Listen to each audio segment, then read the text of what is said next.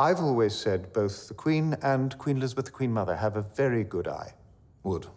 Between them? One each. right, darling. I'm off. Eyes lift.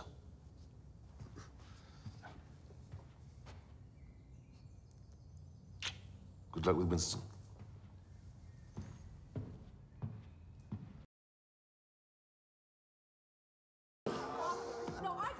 Instinctive, spontaneous, dazzling. Uh, you're all those things too? No, I'm not. I'm predictable, dependable, reliable. Well, of those two, I would pick dependability every day of the week. Thank you.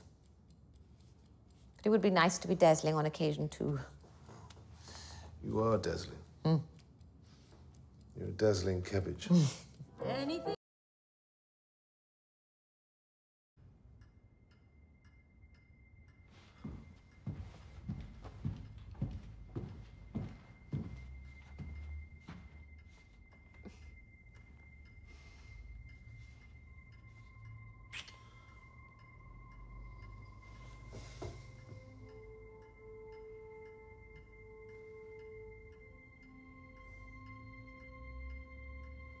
I, uh, I heard about Dickie. A coup. Yes, can you believe it? It must be hard getting old.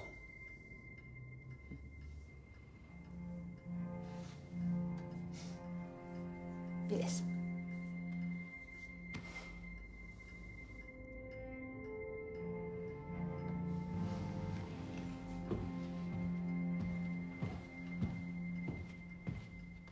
I'll be up in a minute.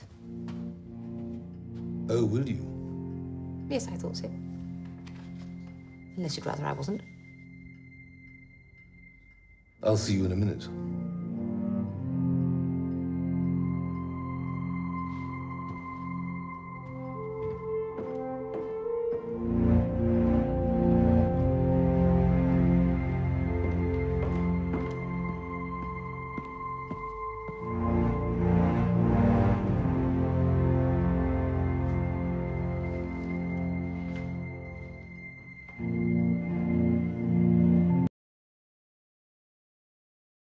You really want Charles messing with that?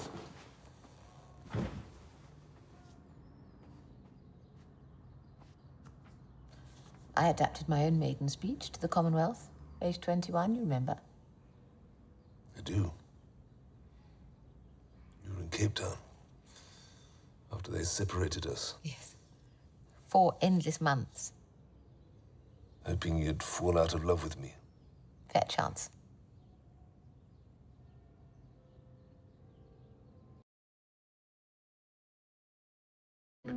Christ, that In the end, I didn't get to introduce Both even half the innovations. I had in mind. Because of the pressure to stand down, I'm to going to abdicate had become unbearable. Yeah? People always assume it was because of the Duchess, because of my obstinate desire to marry. But the establishment's opposition to our marriage Doctor's daughter It was love at first sight.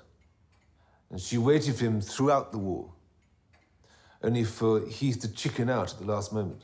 So she married someone else. Where'd you get all this from? As some chap I met who knew Heath of old thinks that he uh, never moved past it.